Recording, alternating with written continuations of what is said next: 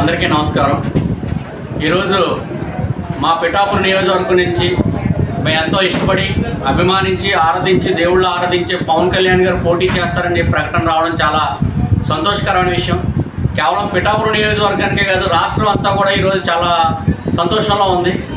కిందన కూడా ఈరోజు పిఠాపురం నియోజకవర్గ జనసేన అదేవిధంగా వీర మహిళలు ప్రజలందరూ కూడా అత్యంత ఉత్సాహంతో ఉన్నారు. గతంలో కూడా మా అధినేత పవన్ కళ్యాణ్ గారు పిఠాపు నుంచి పోటీ చేయాలని మేము అనేక జన సైనికులతో కలిసి అనేక పాదయాత్ర చేస్తాం అన్నవరం వరకు పాదయాత్ర చేస్తాం తొలి తిరుపతి పాదయాత్ర చేస్తాం ఏ పూజా కార్యక్రమం వచ్చినా సరే మా పవన్ కళ్యాణ్ గారి పేరు ప్రస్తావన లేకుండా ఏది కూడా లేని పరిస్థితిలో ఇక్కడ మేము అనేక కార్యక్రమాలు చేస్తాం పోరాటాలు చేయడం కూడా జరిగింది. అదేవిధంగా గతంలో కూడా మేము రెండు సంవత్సరాలు అయింది. నేను పార్టీలో జాయిన్ రెండు సంవత్సరాల నుంచి పవన్ రావాలి పాలన మారాలన్నది రాష్ట్ర నినాదం అయితే పవన్ రావాలి పిఠాపురం మారాలనే నినాదంతో పిఠాపురం నియోజకవర్గ జన సైనికులందరూ కూడా మేము కృషి చేస్తాం. ఆ కృషికి ఫలితం ఈరోజు మా అధినేత పవన్ కళ్యాణ్ గారు పిఠాపురం నుంచి పోటీ చేస్తున్న ప్రకటన ద్వారా దక్కింది. ఏ నియోజకవర్గం అన్నా సరే ఒక పార్టీ అధ్యక్షుడు ముఖ్యమంత్రి అభ్యర్థి పోటీ చేయాలని మనస్ఫూర్తిగా కోరుకుంటుంది పిఠాపురం ప్రజలు కూడా.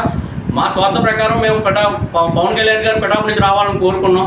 ఎందుకంటే ఒక ముఖ్యమంత్రి అభ్యర్థి ఆ నియోజకవర్గంలో పోటీ చేస్తే అభివృద్ధి ఏ విధంగా ఉంటుందన్నది కూడా మనం అందరం ఊహించవచ్చు సో ఖచ్చితంగా పవన్ కళ్యాణ్ గారు ఇక్కడ పోటీ చేశారు కాబట్టి దాదాపు లక్ష ఓట్ల పైన మెజార్టీతో ఆయన గెలిపించుకుంటామని ఈ సందర్భంగా మేము పిఠాపురం నియోజకవర్గ ప్రజల తరపున పవన్ కళ్యాణ్ గారికి తెలపడం జరుగుతుంది.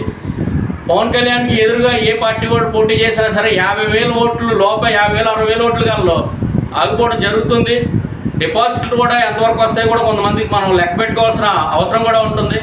రెండు లక్షల ముప్పై వేల ఓట్లలో రెండు లక్షల కోట్లు అయినా సరే యాభై వేలు అరవై వేలు లాగిపోతారు కాబట్టి ఖచ్చితంగా లక్ష ఓట్ల పైన మెజార్టీతో పవన్ కళ్యాణ్ గారు గెలుస్తారని ఈ సందర్భంగా తెలియజేసుకుంటూ జై హింద్ జై జనసేన.